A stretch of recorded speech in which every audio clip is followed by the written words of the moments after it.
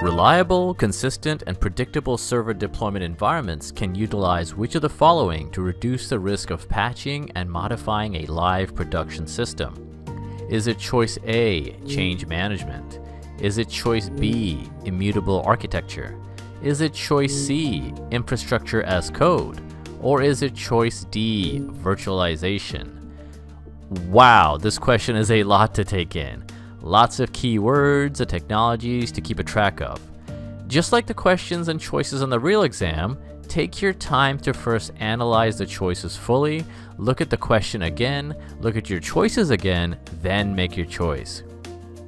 Oh, before we begin, just want to say that if your cat is nearby, tell him I said pss, pss, pss, Even if you're unsure about the meaning of one of the choices, you still may be able to pick the right choice by eliminating the other choices.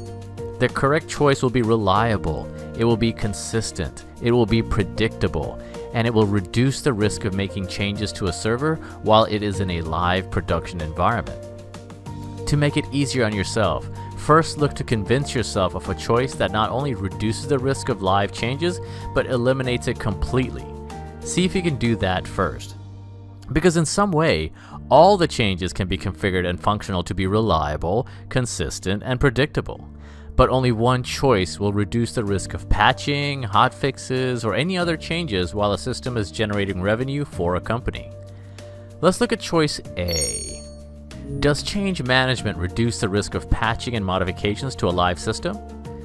While the definition of change management is that it is needed in environments with constant changes, because the reason for change management is to reduce the risk of errors and mistakes from system changes.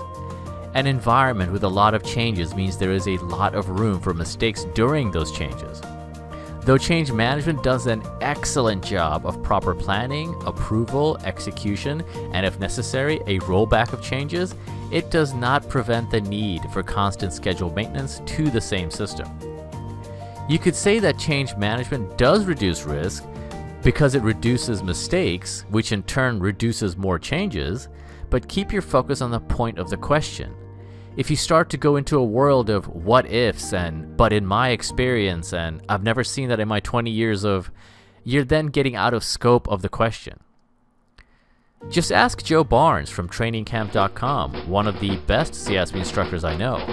If you have Joe as your CISSP instructor, you're almost guaranteed to become a CISSP. He'll never admit that, and actually, no self respecting CISSP instructor ever will admit that either, but the numbers don't lie as far as students who pass after attending his boot camp. Joe will tell you keep your scope within the question. Just give the question what it's asking. Don't let your thoughts spiral out of control with other possibilities and whatabouts. This question is specifically looking for something that eliminates the need to constantly come to the rescue of live systems that require midstream maintenance. What about choice B, immutable architecture?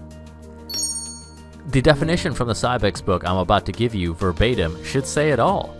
An immutable server architecture is the concept that a server never changes once it is deployed. I was flipping through the Sybex, book casually the other day and flipped to this page and I'm like, whoa, what is this? I've never seen that topic before. You know, e even though I feel like I've read this book like, I don't know, 600 times, there's always, just always something new I pick up, without fail. That's why the CISSP exam is so frustrating. It feels like you're never ready, and there's always just one more thing to learn because it seems new or you forgot it already. Well, after being in the security field for 8 years, I can tell you that it's the same way in the real world when you work with direct security.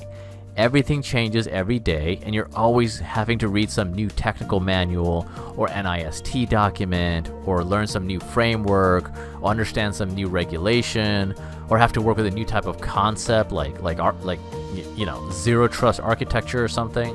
It's it's it's it's it's endless. So make sure you get paid a lot of money to be in cybersecurity. Otherwise, you're just cheating yourself you have to get paid for all this extra self-study you're putting in after your job, or before. You know, 9 to 5 is when you get paid for your job, but all the work you do before that and after that, no one's paying you for that. You gotta make sure someone pays you in your next job, in your salary negotiation. Alright, getting out of scope. Speaking of getting out of scope, I'm getting out of scope. If you haven't guessed by now, choice B is the correct answer. In an immutable architecture, if there is a need to, to apply a patch or make a change to a server, the server itself is first cloned or copied. The new one is then fully put into production with approval, most likely from a change management process. And once all that is working, then the original server is decommissioned. There are no changes to the current server. There are no ongoing or constantly scheduled maintenance to the server. No, no patching cycles. This way you know the new server won't suffer from the changes made before it. It's a brand new server with a brand new update each time. It's still the same configuration as before, but with added modification. The configuration is the same, but the instance of the server itself, whether physical or virtual, is new. If a server needs a change, as I said before, it is cloned, the changes are applied, the new clone server is deployed, once it is working as expected, the old server is decommissioned. That's the process. And I'm sure you can guess where this is most popular.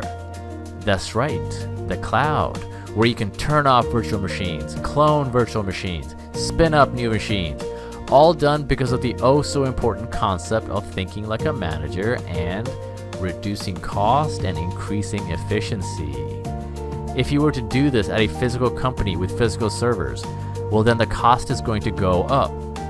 No way your accounting department is going to give approval to buy new servers each time. At least you better hope that's not the case, or your salary and yearly bonus is going to be a lot smaller. I remember at a meeting one time we were discussing something about getting used IBM GX firewalls or something like that.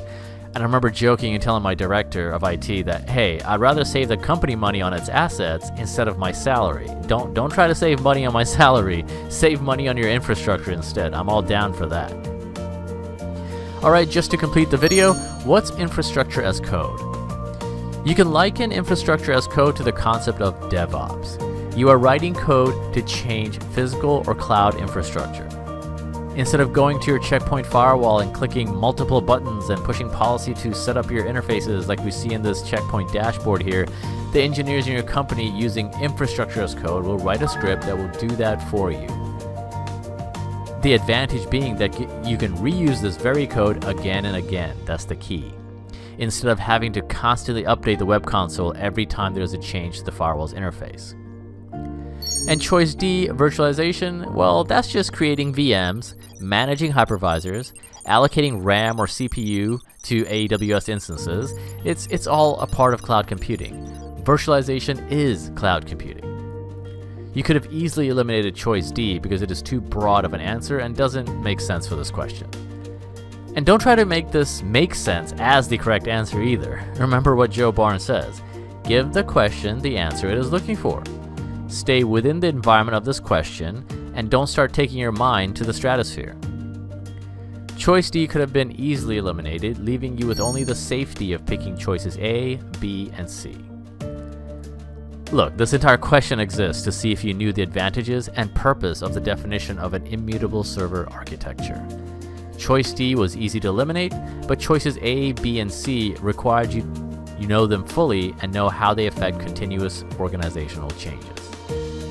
Good luck with your exam. I know you're studying hard. I know you are. I see your emails, I see your messages, I see all your comments. Keep at it because I guarantee you it's going to pay off. Hard work will always pay off. You may not know how, when, why, or which way it will pay off, but it will always pay off. I wish you all the best on your CISSP exam, especially those who are taking it for the second, third, or even fourth time. Thanks for watching.